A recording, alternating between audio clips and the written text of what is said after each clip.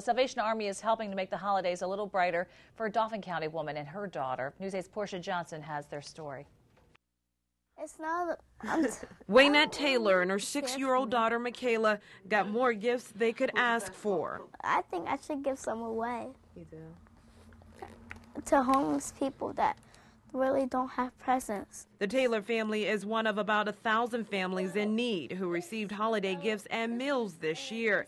It's part of the Salvation Army's Christmas Joy program. Are you grateful for it? Yes. But Christmas comes with a mixture of joy and pain for Waynette. She has colon cancer, and doctors are giving her less than a year to live. Just to know that we potentially might be my last Christmas with my daughter. Um, it was a big thing.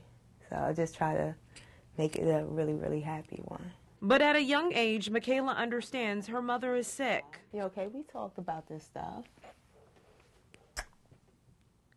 You know mommy loves you, right? And even if mommy's not here, mommy be still with you, right? Where's mommy going to be?